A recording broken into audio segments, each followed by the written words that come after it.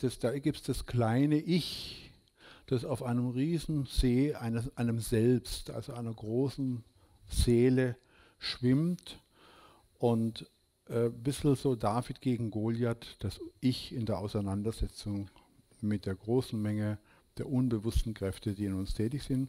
Schön daran ist, dass wir einfach sehr viel mehr Potenzial haben, als wir bisher schon in einem bewussten Ich versammelt haben. Schlecht ist, wenn das Potenzial sich gegen uns wendet. Ich habe jetzt daraus dieses Dialogmodell der Kommunikation gemacht, das sagt, wenn zwei Menschen oder zwei Instanzen miteinander kommunizieren, gibt es eine bewusst methodische Oberfläche.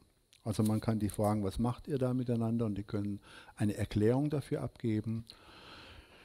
Wenn ich frage, wie steuert ihr das, können die sagen, methodisch nach Methode XY oder ich arbeite es in der und der Weise ab. Das gibt also eine gewisse Didaktik. Was, wann, wie, von wem, wie stellen wir uns das vor bezüglich der Gestaltung von Rahmen einer Oberfläche. Ob Wirklichkeiten zwischen Menschen dadurch zusammenkommen, äh, hat mit sehr viel mehr intuitiven Gestaltungskräften, die da dahinter liegen, zu tun, die sich manchmal ohne Wahrnehmung dieser bewussten Oberfläche miteinander ähm, zusammentun oder auch Vorbehalte miteinander entwickeln. Deswegen ist es, um gute Kommunikation zu leisten, wichtig, dass man nicht nur bewusst methodisch zusammenkommt, sondern dass das bewusst methodische mehr ein Gerüst ist, in dem ganz viel Platz ist für das unbewusst intuitive Zusammenspiel, was sehr viel mehr komplexitätssteuernde Kraft hat als das bewusst methodische. Und das geschieht sowieso. Also das, die Behauptung, äh, die mit diesem Modell verbunden ist, ist, dass sowieso äh, Menschen in ihrer Wirklichkeit miteinander eintreten auf eine sehr komplexe Art. Sie wissen es nur oft nicht. also sie wissen oft nicht, was sie Schwieriges miteinander anrühren, dann wäre natürlich gut, sie wissen es, weil sie da steuernd eingreifen können, aber sie wissen oft auch nicht, wie viele Chancen wie viel Gefallen sie einander gefunden haben, wie viele Chancen damit äh, verbunden sind, um das gut zu steuern und das nicht einfach irgendwo äh, ohne eine ordnende Hand sich entfalten zu lassen. Und deswegen ist es wichtig für jede gute, für jeden guten Kommunikator, dass die Kommunikation mit äh, also zwischen diesen zwei beiden Sphären gut funktioniert also, dass ich in mir wahrnehme, ich habe jetzt äh, ein Bild äh, von Rotkäppchen und der Wolf, fällt mir ein, ich weiß nicht warum, äh, wenn ich mit dem zusammenkomme, dass ich nicht sage, das gehört jetzt nicht hierher, sondern äh, was sagt mir das darüber, was für Fantasien ich darüber habe oder welche Wahrnehmung, wie der sich unbewusst aufstellt. Und wäre ich, wenn das so wäre, eher Rotkäppchen oder der Wolf, das hätte Vorteile, wenn man das vorher wüsste. Umgekehrt äh, suchen uns ja alle möglichen Intuitionen heim, ob die passen oder nicht. Professionell, das haben wir ja vorher gesehen, brauchen wir aus den vielen möglichen Orientierungen am anderen oft nur einen Ausschnitt, weil wir an der Stelle jetzt zum Beispiel nur ein Vorhaben klären müssen. Wir müssen nicht überlegen, ob wir den mögen oder ob mit dem Freundschaft äh, angesagt ist. Es geht, wir haben auch jetzt keinen Deal miteinander zu machen, deswegen brauchen wir ihn an der Stelle auch nicht äh, über seine Neigung uns übers Ohr zu hauen, uns zu beschäftigen. Das heißt, das bewusst methodische kann auch einen Rahmen für die Intuition und für das Abtasten des anderen vorgeben, kann auch vorgeben, darauf beziehe ich mich jetzt, das andere kann ich am Rande wahrnehmen, darauf brauche ich mich aber jetzt nicht viel orientieren. Die Intuition leistet ja äh, setzt sich ja unmittelbar in Handlung um. Deswegen, wenn Intuitionen, die gar nicht äh, in die Situation gehören, äh, mich dominieren, dann setzt sich das unmittelbar in Handeln um. Deswegen ist gut, wenn über eine Rollenklärung, über eine Kontraktklärung, über, über Klärung mit diesen äh, ganzen äh, Konzepten, dass ich meinem intuitiv, meiner intuitiven Selbstorganisation auch eine Orientierung gebe. Sodass ich, wenn ich professionell unterwegs bin, Intuitionen habe, die zu der, zum professionellen Auftrag gehören. Wenn ich jemanden einschätzen muss, ich ihn nicht einschätze, ob das ein guter Spielkamerad wäre, sondern einschätze, ob der, ob der wenn äh, eine wichtige Sachinformation fehlt, das merkt. Das ist eine andere Art von Intuition. Wir nennen das dann die Läuterung von Intuition. Und dieses Modell steht dann auch für ein gewisses Weltbild bis hin zu einer Organisationssteuerungsweltbild, das eben sagt, natürlich ist das die bewusste Steuerung einer Organisation dazu da, richtige Rahmensetzungen zu machen. Aber ob das miteinander flutscht oder nicht, ob die Menschen ins Boot kommen, das ist eine unbewusste Abstimmung, die überschaut gar kein Mensch die ganzen Dimensionen, die dabei eine Rolle spielen. Aber es wäre gut, wenn die Didaktik des Miteinanderarbeitens eine Chance bietet, dass wir uns aneinander ankoppeln und dass wir merken, wenn das nicht gut geht. Und dass wir dann eher nochmal gucken, wie können wir dann nochmal neu miteinander umgehen, dass wir zueinander finden, anstatt dass wir versuchen, äh, nur mit der Oberflächensteuerung zu arbeiten und die Menschen, die wir, je komplexer es ist, je mehr Kreativität gebraucht hat, als Ganze mitnehmen müssen. Da müssen alle intuitiven Kräfte zusammenwirken. Äh, äh, wenn wir die nicht mitnehmen, kommen wir einfach nicht weit. Und das hat Auswirkungen auf die Frage, ja, wie viel, was und wie viel ist eigentlich notwendig für Teambildung oder fürs Etablieren einer Führungsbeziehung. Der Profi unterscheidet sich dann wieder vom Laien, wenn ich mal so sagen kann, dass er relativ gut mit sich in, Kom in, in Kommunikation ist und dass er, wenn der, wenn er, dass er relativ gut merkt, ob der andere mit sich in Kommunikation ist oder nicht und dass er dem anderen aktiv Impulse gibt, mit sich in Kommunikation zu kommen.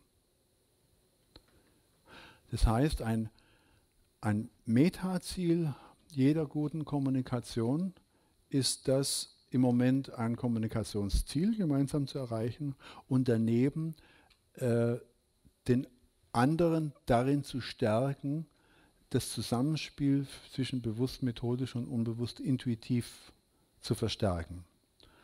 Und das etwa in einem Projekt, das zusammenspielt. Also das ist ein Aufbau einer Begegnungskultur.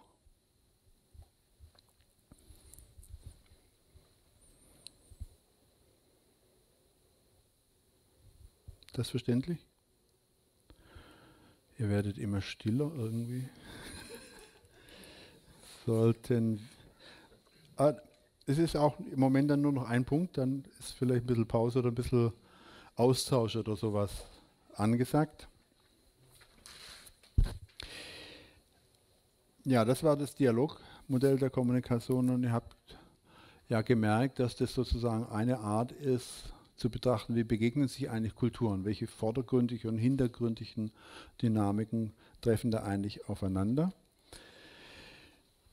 Ähm, ich habe da noch ein anderes Schema äh, der Unterscheidung, wenn man sagt, es begegnen sich Menschen jetzt zum Beispiel, können wir ja fragen, wer oder was begegnen sich da eigentlich? Je nachdem, als was ich diese Begegnung ansehe, kann sein, dass ich zu völlig verschiedenen Schlussfolgerungen komme, was für Ereignisse ich ansetzen muss, mit welchen Methoden ich arbeiten muss. Also wie wir früher gelernt haben, wir haben versucht, alles auf beobachtbares Verhalten zu reduzieren. Und die einfache Form der Verhaltenstherapie hieß, jeder muss ein kompetentes Verhalten erlernen und wenn er das richtige Verhalten zeigt, adressiert er den anderen, der diese Signale zu entschlüsseln lernt und darauf lernt, auch das geeignete Verhalten zu zeigen, adäquat. Und so klappt Beziehung und das kommunikative Zusammenspiel. Wenn ich so denke und es klappt nicht, versuche ich herauszufinden, wer da seinen Text nicht kann. Und dass er dennoch bitteschön lernen soll. Und, da, und wenn und da gibt es Unmenge von Skills, in, die uns sagen, wie, wenn ich es nicht ganz kann, how to make it better. Und wenn jemand wirklich zu wenig Skills hat, dann ist es auch die richtige Lernebene. Wenn jemand aber schon relativ viele Skills hat, aber egal mit wem er redet, nach einer Weile ist er sauer, egal zu wem er einen Verkäufer schickt, der kommt nie in Auftrag nach, dann können wir sich einmal fragen, liegt es daran, dass der die falschen Verhaltensweisen drauf hat oder es kann sein, dass er die falschen Haltungen drauf hat. Das heißt, der andere hört all die richtigen Worte, hat aber die ganze Zeit das Gefühl, der, der interessiert sich nur für mich. Der interessiert sich nicht äh, für sich und nicht für mich. Und wenn das rüberkommt, der dauernd aber von äh, Serviceleistungen schwätzt, bringt das gar nicht. Wenn das der Fall wäre, dann müsste man sagen, wie kommt es, dass jemand solche Haltungen hat? Merkt er überhaupt, welche Haltungen äh, er transportiert? Merkt er es, wenn der andere negativ reagiert auf die Haltung? Denkt er selbst, es liegt an seinem Verhalten und macht noch einen salbungsvolleren Beitrag? Oder fragt er sich mal, wie kommt es, dass, dass der sich verarscht fühlt von mir? Wenn man dann so denkt, muss man dann erst eher an den Haltungen arbeiten. Man, gibt sich, man spiegelt sich gegenseitig Haltungen, die man empfindet. Und da wird es dann schon ein bisschen schwieriger mit der operativen Beschreibung. Wir machen das in den Spiegelungsübungen. Also wenn es etwa Haltungen im Umgang mit Macht geht, haben wir so unverfängliche Fragen wie angenommen, der andere wäre bei dir Steuerprüfer, was für Bilder steigen in dir auf? Und dann erfahre ich relativ schnell was über Haltungen, indem ich sage, das wäre klasse. Dann ging es diesmal leichter. Ich müsste mich gut vorbereiten, aber es wäre dann okay. Ja? Oder, oh, das wird hart. Der gehört zu den Typen, die man nie, äh, wenn, solange die auf ihren Knien sind, ist in Ordnung, aber wenn die aufstehen, wird es fürchterlich. Ja? Das heißt, es begegnen sich auch Haltungen und wenn die Haltungen stimmen, das wissen wir alle, dann kann, können die Tools durchaus mal nicht so stimmen oder die Sätze nicht die richtigen sein. Man weiß, wie es gemeint ist, man hilft sich gegenseitig die Oberfläche. Man ist fehlertolerant gegenüber der Oberfläche, aber man hilft sich auch gegenseitig mit einer unvollkommenen Oberfläche zurechtzukommen, weil die gar nicht so perfekt sein muss. Und trotzdem kann Wirklichkeit gut sich miteinander verkoppeln.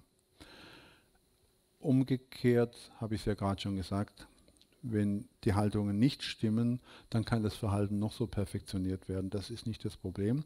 Für, für dort, wo wir Bildungs- oder Coaching-Leute sind und wir ja mit einem begrenzten Ressourceneinsatz arbeiten müssen, müssen wir fragen, wofür verwenden wir die Beratungszeit zum Beispiel? Für Arbeit an Haltung oder für Arbeit an Verhalten? Oder wenn jemand zum x-ten Skill-Training gehen will, oder wenn jemand zum x-ten Meditationstreffen gehen möchte, um seine Haltung dem Kostenmaß gegenüber zu verbessern, könnte man sagen, wäre vielleicht auch nicht schlecht, über das Lernen einen ordentlichen Mitschrieb zu machen von einer Verhandlung, sodass man hinterher auch noch weiß, was besprochen worden ist. Es lässt sich halt nicht alles mit der Haltung zum Kosmos machen.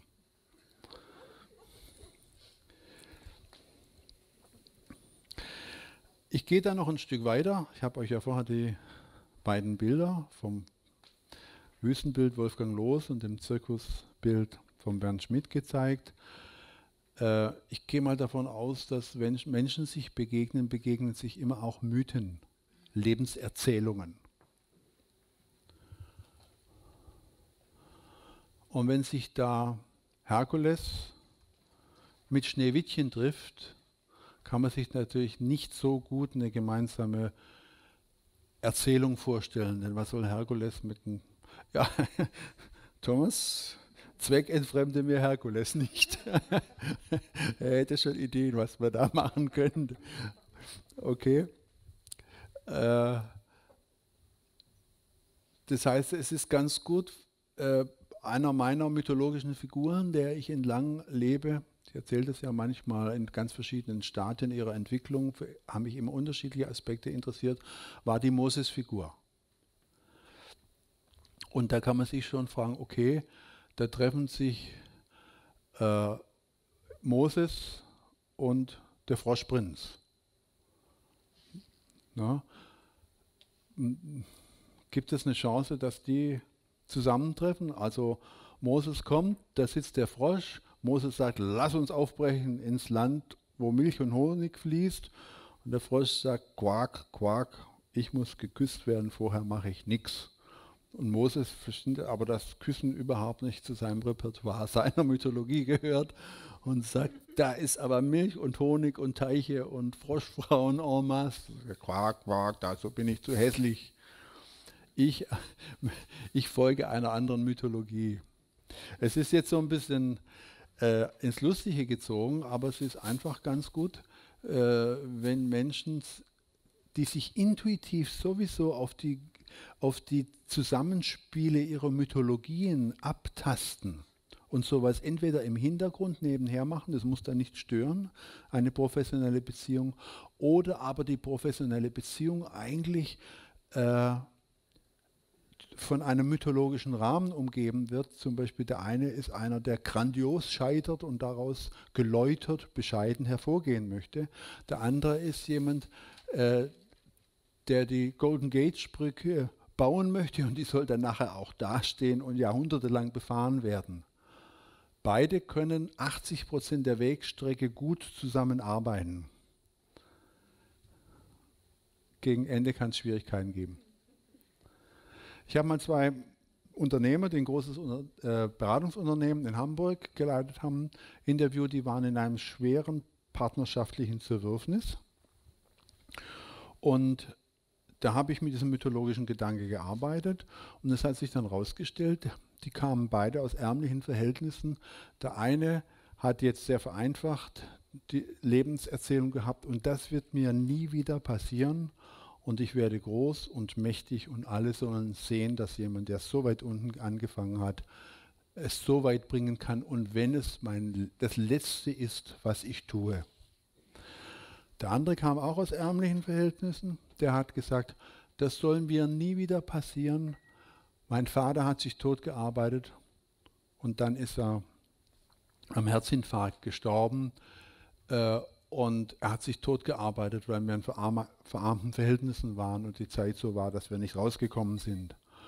Und ich will jetzt zeigen, da kann man rauskommen. Aber wenn ich draußen bin, will ich nicht am Herzinfarkt sterben, dann verkaufe ich das alles und führe ein gutes Leben und tue all das, was mein armer Vater nie hat tun können. Das ist eine andere persönliche Mythologie. Am Anfang kamen die zusammen und haben gesagt, lass uns erfolgreich werden und ein großes Unternehmen aufziehen. Das hat jetzt 120 Mitarbeiter und war, weiß nicht, 20, 30 Millionen schwer. Und jetzt wollte der eine plötzlich sich zurückziehen und verkaufen, zumindest mal teilweise, weil der andere gesagt hat, wir brauchen das ganze Geld und wir brauchen deine Kraft, weil wir jetzt ansetzen zum Sprung in die nächste Dimension, wo es noch herrlicher wird.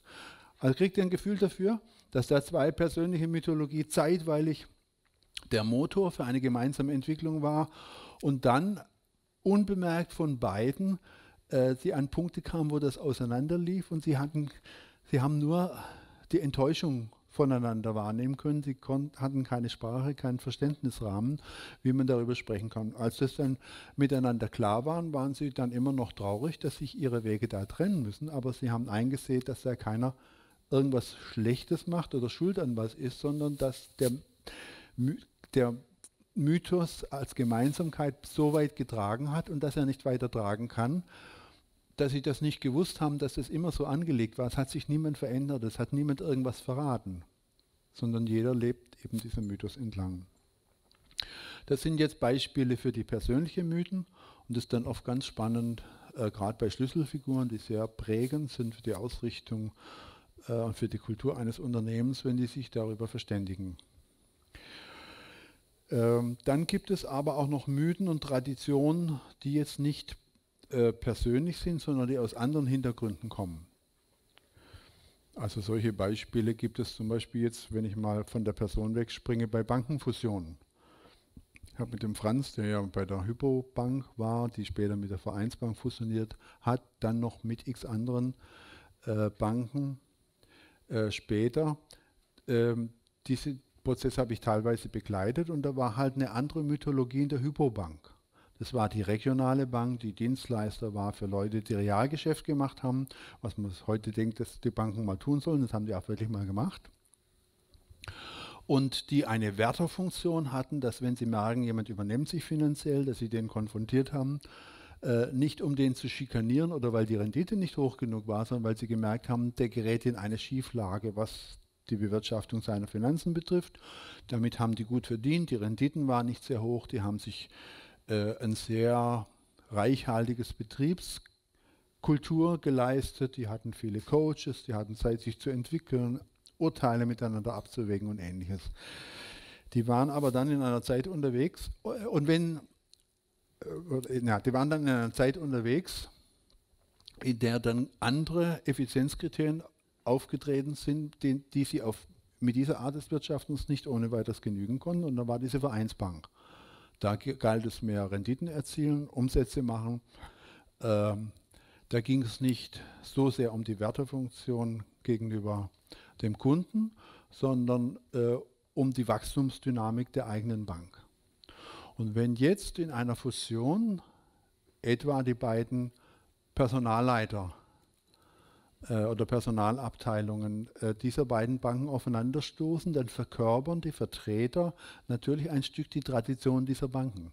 Die sind dann unterschiedlichen, nicht persönlichen Mythologien äh, und Traditionen verpflichtet. Und dann kann sein, dass sie aneinander geraten und halten das für ein Beziehungsproblem zwischen zwei Menschen, aber es ist nicht mal ein Beziehungsproblem zwischen zwei persönlichen Mythologien, sondern eigentlich zwischen den dahinterstehenden Mythen. Man kann sich dann immer auch fragen, wenn jemand so eine ganz andere persönlichen Mythos hat, warum ist er bei der einen Bank und bei der anderen Bank? Also das kann sich dann ein bisschen komplex schichten, aber das wäre einfach nochmal eine andere Ebene, um sich zu fragen, was begegnet sich da eigentlich? Und wenn wir auf der Ebene diskutieren, brauchen wir zur Klärung von guter Kommunikation natürlich völlig andere Arbeitsweisen und Dimensionen, als wenn wir denken, das ist ein Skillproblem. Wenn die beiden ihr Skillrepertoire gut beieinander hätten, müssten die doch zusammen wirtschaften können. Und deswegen habe ich das ähm, auf diese Weise unterschieden. Ich habe es dann zum ersten Mal zu Papier gebracht oder zum ersten Mal mit einem Schaubild versehen, in einem englischsprachigen Artikel. Deswegen steht der drunter noch. Es gibt es aber mittlerweile auch auf Deutsch. Ich habe es jetzt nur so schnell nicht gefunden. Ja, das waren jetzt die Kommunikationsmodelle oder Verständnis von Bezogenheiten zueinander, also auch wieder viele verschiedene Differenzierungen, die ganz verschiedene Implikationen und Konsequenzen haben für die Art, wie ich an Verständnis und an Gestaltung von Beziehungen und Kommunikation aus den verschiedenen Rollen im professionellen Feld rangehen kann keines dieser Schemata sagt, das eine oder andere ist richtig, sondern hilft uns überhaupt, uns mal zu verorten, aus welcher Perspektive, mit welchem Verständnis wir überhaupt arbeiten wollen. Und ihr habt ja gemerkt, das klassische Senderkanal-Empfängermodell ist sozusagen immer kleiner geworden in der relativen Bedeutung. Und diese anderen Konzepte, die aber zum Teil eben anspruchsvoller und komplexer sind, auch weniger operational erklärt werden können, sondern sehr viel mit sehr komplexen, auch intuitiven Abstimmungsprozessen zu tun haben, haben jetzt in meiner Serie dann auch immer mehr Gewicht bekommen. Und wir am Institut stehen auch einfach dafür, dass diese Dimensionen auch unser Fokus sind. Das Skill-Training können wir, glaube ich, anderen überlassen. So, das war jetzt die Kommunikationsmodelle erstmal. Und jetzt machen wir, machen wir äh, wie, machen wir gleich Pause oder ist es ganz gut, die Pause damit anzufangen, dass ihr untereinander so ein bisschen nochmal Resonanzen austauscht? Mit dem Resonanzen austauschen meist hat man keine Lust und nachher ist doch gut, man hat es gemacht. Wir machen mal so, äh, redet mal über das, was ihr gerade erfahren habt und wie es euch damit geht. Ich sehe ja schon, äh, man spricht ja vom Suppentief oder wie das Ding heißt, also die ähm, wir sind jetzt eher auf der Seite der Intensitätsverminderung. äh, sodass ihr einfach darüber, über das, was wir jetzt gemacht haben, ein bisschen mehr aktiv in Kontakt kommt und zwar nicht mit denen, die ihr euch raussucht draußen dann, sondern mit denen, die neben euch sitzen. Fünf Minuten und danach noch 25 Minuten Pause.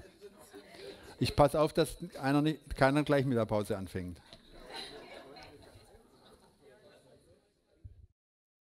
Es ist jetzt schon viel gewesen. Wir machen eigentlich wäre jetzt nach meiner Logik systemische Steuerung dran, aber das ist relativ abstrakt. Ich denke, wir haben es leichter, wenn wir Verantwortung und Macht jetzt erstmal heute Nachmittag machen.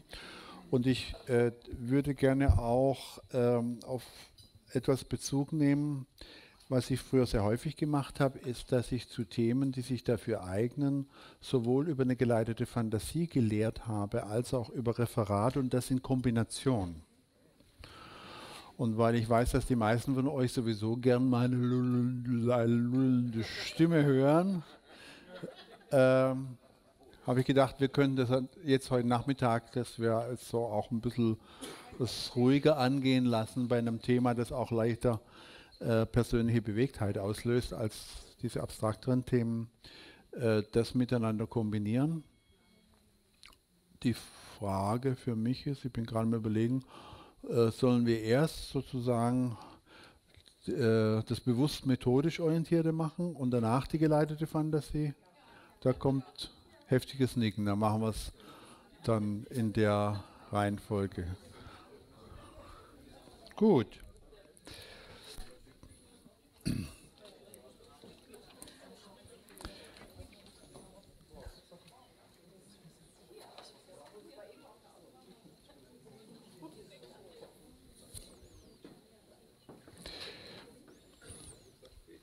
Auf das Thema Verantwortung und Macht bin ich schon früh gestoßen, eben in der Zeit, in der ich noch selbst viel Organisationsberatung und Teamentwicklung gemacht habe.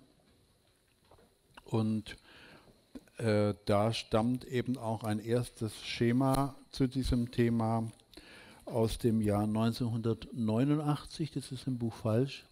Das muss nicht 98, sondern 89 handeln. Und das war damals in der Mitarbeiterzeitung der SEL Alcatel, für die ich viele Jahre mit Rolf Balling zusammen äh, sehr viel gearbeitet habe. Und da äh, kam es aus einer Teamentwicklung heraus, dass das Problem war, dass die einen, die die Macht hatten, nicht zum Workshop kamen, was nur dort so ist und längst Vergangenheit. Heute ist es gang und gäbe, dass die, die die Macht haben, auch da sind und mit der Macht auch das, was bewerkstelligt werden, voll unterstützen. Äh, wer da ist, sind die, die die Verantwortung haben. Die sind, haben aber oft äh, nicht unbedingt das Können an Bord. Das sind dann oft wieder andere. Und so kam ich eben zu diesem Slogan Macht, Verantwortung und Können gehören zusammen.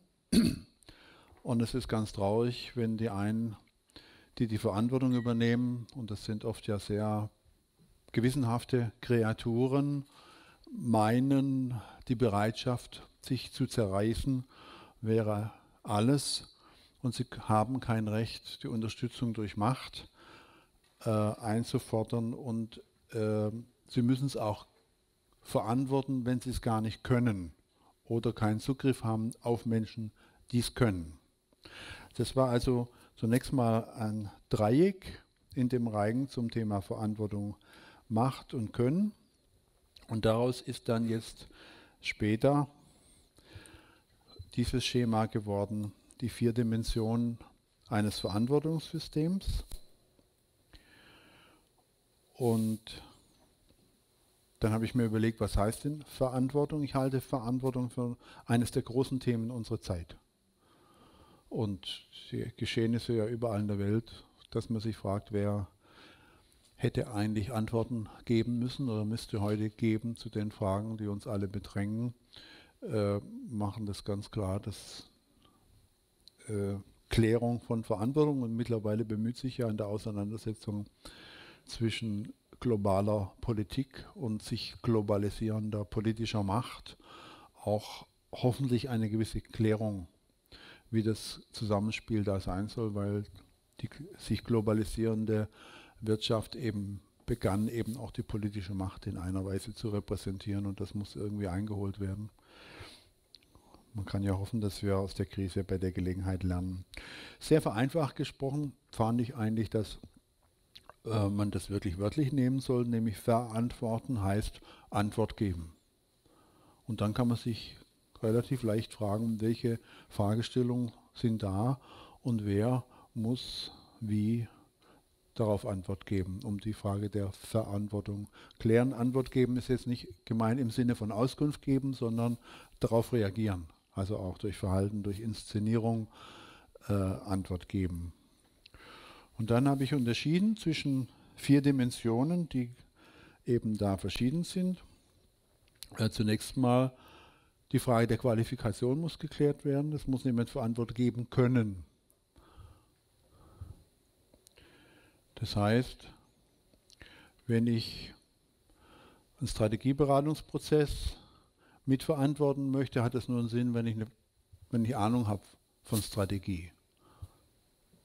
Also ich muss mir Rechenschaft ablegen, äh, ob ich selbst die Qualifikation habe oder ob ich zumindest die Qualifikation habe, zu beurteilen, welche Qualifikation man braucht. Es muss ja nicht ein, äh, es müssen nicht alle Dimensionen in einer Person oder Instanz vertreten sein, aber sie müssen auf die Bühne geholt werden, dass sie zusammen ein Verantwortungssystem bilden können. Also kann jemand das? Und oft genug, wir alle kennen Leute, die meinen, die Bereitschaft voranzustürmen ersetzt das Training im Laufen. Also das eine andere Frage, Dimension der Verantwortung ist, wollen die Menschen diese Antworten geben? Also das ist eine Frage der Werte oder der Motivation. Also zum Beispiel äh, ist das Selbstverständnis eines Bankers, dass er seinen Kunden bezüglich seiner Fragen, wie ist ein gutes Geschäftsdesign gemacht, ist es verantwortbar, dafür den Kredit zu kriegen? Will der mit dem daran arbeiten, das wirklich zu klären? Wenn er nämlich den Wert hat, äh, es geht darum, dem hauptsächlich einen Kredit zu verkaufen, und das will er, dann kann er bezogen auf die Frage, wie er verantwortlich den Kunden betreuen kann, äh, fehlt natürlich eine wichtige Dimension im Verantwortungssystem. Dann kommt die Frage der Autorisierung oder auch der Ausstattung. Darf er und kann er diese Antwort geben? Also äh, ist die Weisung von vorgesetzter Stelle, ob es das Prinzip ist, ernsthaft zu prüfen, ob an der Stelle ein Kredit zu vergeben ist, ob das verantwortbar ist. Und äh, ich autorisiere Sie, diesen Kredit nicht zu vergeben, wenn es ihnen nicht vernünftig erscheint. Wenn stattdessen äh, äh, und wenn das nicht gegeben ist, dann darf derjenige nicht die Antwort geben, die er nach seinem Wollen und vielleicht nach seinem Können geben wollte. Da muss man dann eben immer auch fragen, äh, wer darf da autorisieren. Zum Thema der Autorisierung kommen wir nachher nochmal speziell. Und oft ist es dann auch die Frage der Ausstattung. Also kriege ich eine Berechtigung, werde ich auch gestützt, wenn jemand äh, meinem Versuch, auf ihn Einfluss zu nehmen, äh, sich entziehen möchte. Das ist oft dann auch eine Frage der Führungsbeziehung nach oben und der Traute dann zwischen den Chefs sich abzustimmen und ähnlichem. Also bin ich auch berechtigt, verantwortlich zu handeln und letztlich die Frage verantworten müssen. Das heißt, werde ich zur Rechenschaft gezogen, wenn ich es nicht tue. Also gibt es eine Kontrolle, wenn Verantwortung nicht wahrgenommen wird. Auch da haben wir ja zurzeit jede Menge Beispiele, dass Zuständigkeiten entweder nicht erkannt oder nicht wahrgenommen wurden. Oder die Zuständigkeiten vielleicht wahrgenommen wurden und die Kompetenz nicht da war oder die Kompetenz da gewesen wäre, aber der Wille nicht da war, weil es Probleme gegeben hätte. Und wenn man eben darüber nachdenkt, ist ein Verantwortungssystem vollständig und gesund, sind das die Dimensionen, wenn irgendwas schwierig scheint, auf welcher Ebene liegt das? Weil es hat ja keinen Sinn, äh, den Leuten, die Leute zu autorisieren, wenn das Gehaltssystem so ist, dass sie aus Eigennutz heraus das gar nicht wollen. Verantwortlich Kredit Vergabe zurückzuweisen. Dann brauche ich auch nicht an der weiteren Autorisierung arbeiten. Beziehungsweise, wenn eine klare Policy ist, ihr macht Umsatz um jeden Preis, dann brauche ich nicht mit dem Einzelnen der Supervision daran arbeiten, ob er eine persönliche Werteorientierung hat, dass man das eigentlich anders machen sollte. Oder wenn jemand sowieso gar nicht durchblickt, entsteht die Frage des Wollen und Dürfens noch gar nicht, denn egal wie, er hat gar nicht die Kompetenz, mit der Sache richtig umzugehen. Und das Wollen und das hat natürlich ein bisschen was mit dem Müssen zu tun, wenn er weiß, er wird zur Rechenschaft gezogen, wenn er es nicht tut. Es gibt da Kontrollinstanzen, spielt die ganze Sache wieder anders. Also sind einfach vier Dimensionen und ich habe gehört von vielen, die damit in der Praxis arbeiten, gerade im Bankenbereich zum Beispiel, dass es ein ausgesprochen nützliches Schema ist, sich zu fragen, kann ich, muss ich, darf ich, will ich. Und das hilft eben Dialog über Verantwortung sehr gut zu strukturieren. Das sind hier nochmal die vier Dimensionen des Verantwortungssystems, also Qualifikation, Werteorientierung, eingeforderte Zuständigkeit und eine Frage der Autorisierung. Dann hat sich noch eine andere Unterscheidung bezüglich Verantwortung als nützlich erwiesen, nämlich die Entscheidung Verantwortung für und Verantwortung in Bezug auf. Also Verantwortung für wäre zum Beispiel der Kellner auf der Titanic, der dafür verantwortlich ist, dass der Tisch gut gedeckt ist.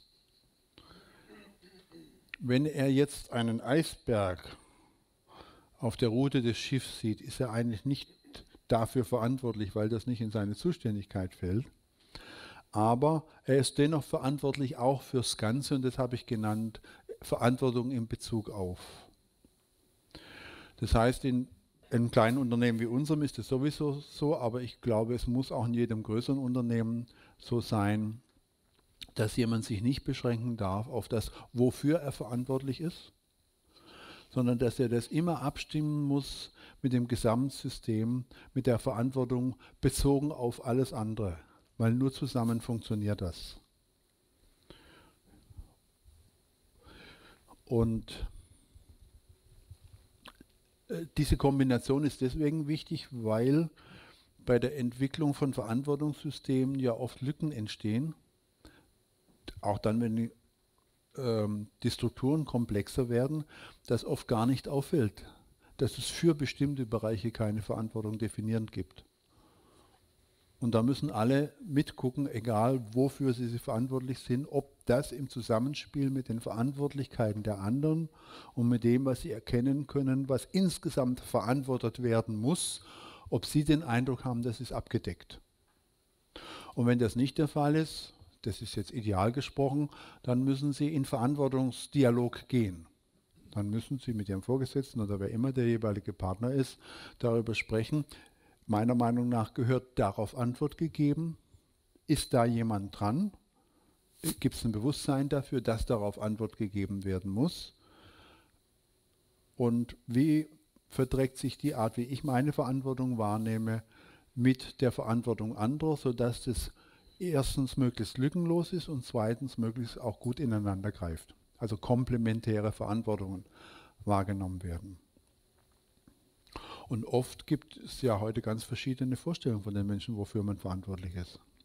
Also zum Beispiel eine Top-Führungskraft, Geschäftsführer eines internationalen Unternehmens, den ich einfach danach gefragt habe, wie er seine Verantwortlichkeit als Führungskraft sieht.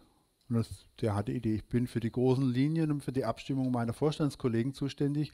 Den Rest macht meine nachgeordnete Ebene. Das sind qualifizierte Leute.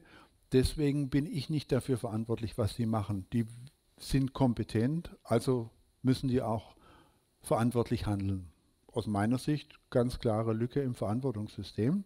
Ich habe dann versucht, diese verschiedenen Ebenen untereinander in Dialog zu bringen, wer eigentlich für was, wann, wie, wo verantwortlich ist. Äh, und dann stellte sich heraus, dass es jetzt Begegnung von Wirklichkeiten ähm, ein total zerfleddertes Bild gibt, zu welchen Fragen wer, wie, wo, wann Antwort geben muss und wie das zusammenspielen muss, dass es auch ökonomisch und vollständig ist. Wenn wir mal davon ausgehen, dass ein gut funktionierendes System eigentlich für alle relevanten Fragen, die mit seinen Wirtschaften auftauchen, Antwort geben können muss.